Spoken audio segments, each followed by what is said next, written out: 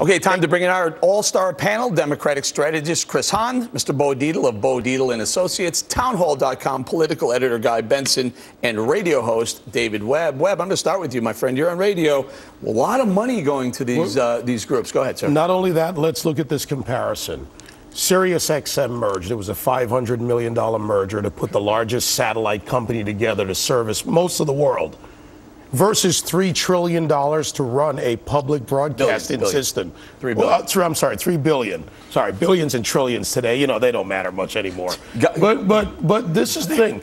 Why does it take that much money to run something why. like apples this? to oranges. Go There, ahead, there, Tom. there are there are public broadcasting stations all over the country. There's 13 here in New York. There's public broadcasting stations broadcasting across the country. We made an investment in a public broadcasting because we thought that it would be a good thing for this country to have arts, to have things like Sesame Street. But- I'm but- not surprised. that- that's a Congress nice- that's a nice- that's a new- against you don't- you don't think- against children. you don't- against Yeah, I'm not sure Elmo. Oh, got You that. don't think that a, a network could pick up Sesame Street? You don't think CBS, NBC, or ABC? Let's stop it. This is 420 million of taxpayers' money to subordinate this. One-tenth of 1% You got, is you not got, you got one your, hour of Congress You got your friend there, the One-tenth creep. That, of that creep. 1% of our federal you got that creep Not Soros cost. giving 1.8 million dollars. Soros puts Why one is he a creep? Why? Because he controls NPR when he, He puts doesn't 1.8 control it. billion. One point eight Hold on, control- stop. billion Chris, controls one- Chris, work with me here. Okay. Talk show, okay? Sorry. Guy, talk, please. All right, I want to talk about one group that you mentioned over at the Blackboard earlier Media Matters for America.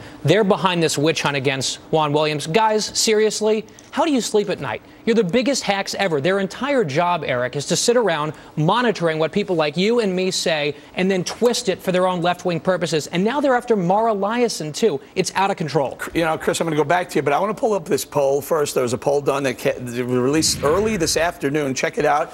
Uh, was the NPR firing of Juan Williams right?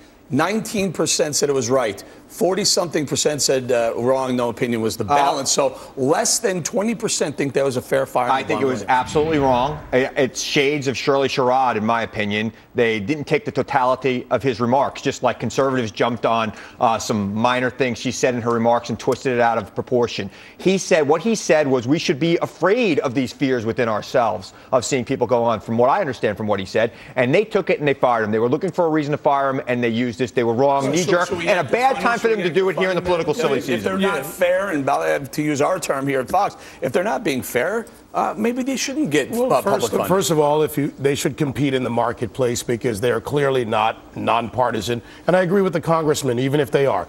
But to your point earlier about how many stations we need, signal range. You still only have so much signal, and it services it.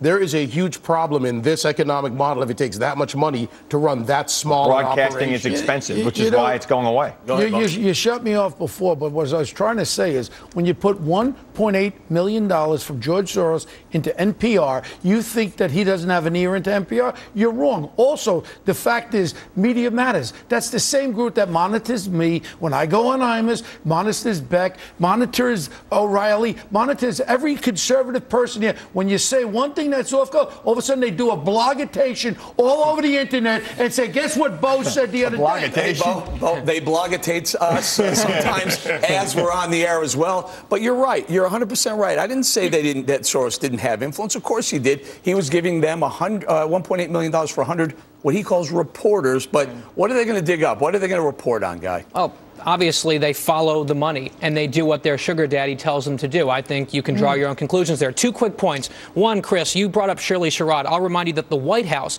they were the ones that called for her to Absolutely. be They fired. blew it out of proportion. but hang I on, think you- that they you blamed it- overreacted. Chris, you blamed it on conservatives. I'm I just do. pointing out the Obama administration were, were the ones that told her to to get Conservatives lost. consorted it. We reacted out of proportion. We shouldn't have. Secondly, liberal intolerance. The left always says, oh, we're the tolerant people in society. No. Was it right wing conservative Fox News viewers saying, get Juan Williams off the air? We disagree with him when he defends Barack Obama? No. We like Juan Williams. We disagree with him. I do at least. I respect him immensely. It was the left wingers at NPR that just couldn't tolerate what he had to say. Look, look. Uh, as the, as the guy who's been in radio for 25 years on the panel, let me tell you something. I have seen all kinds of operations out there, but in the bastion of liberalism, and, or ba- actually the bastion of fairness, which is what the NPR claims they are, hmm. they have been unfair in my entire career because they have always been biased, and this is fact, not conjecture. Media Matters, they've called me as someone who has Stockholm syndrome. The, the head of NPR says that My- one my needs only to consult his psychiatrist. Let's just, let's just focus on this. It's not. Uh, there are going to be left-leaning blogs, and there's going to be right-leaning blogs. There's going to be all types. My problem is, Chris, they're getting taxpayer funding. You know what? We live in a republic. You don't always get a vote on what goes to get funded. You don't have to like everything that gets funded. There are things in the budget that I don't like. There are things in the budget that we all Well, don't we like. We can't agree on it. It's a republic, not a democracy. We've we got to learn the when- difference When, in our this guys country. get in in January, they should Yeah, vote they this could- you know out. They can All do whatever. They can try to do whatever That's they want. gonna- It's not going to happen. Leave it there. Stick around. We have a big show coming up. Fox Business: The Power to Prosper.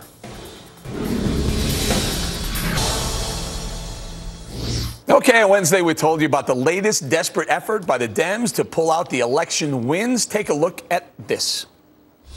We learned over the weekend, but that last Wednesday, Cincinnati Public Schools, one of the teachers at Hughes High School brought three van loads of kids down to the Board of Elections with Democrat sample ballots in hand. Cincinnati attorney Chris Finney is suing CPS on behalf of political group Coast, saying students are being indoctrinated early on to vote Democrat and given no other choices. Thinking that there's only one way that you're allowed to vote, one way that you're allowed to think, and they indoctrinate the children apparently to believe that. He also believes the children were placed at risk. Placed on vans without any CPS personnel present. Two of the three vans had no CPS personnel present. The drivers had no background checks whatsoever, and uh, the vehicles themselves had not been approved or checked by Cincinnati Public Schools, all of which is required by state law. CPS told me they are trying to find out who made that call from Hughes High School, a move not approved by the district. Cincinnati Public Schools has a policy we learned of registering uh, students as soon as they turn 18, and they also have a policy every year of taking them down to the Board of Elections to make sure they vote. That was from our Cincinnati Fox affiliate, WXIX. Candidate for ha- Hamilton County Auditor Tom Brinkman has filed a lawsuit against the Cincinnati Public Schools, and he's um, he's out on the trail of this. Tom, I'm going to go right to you.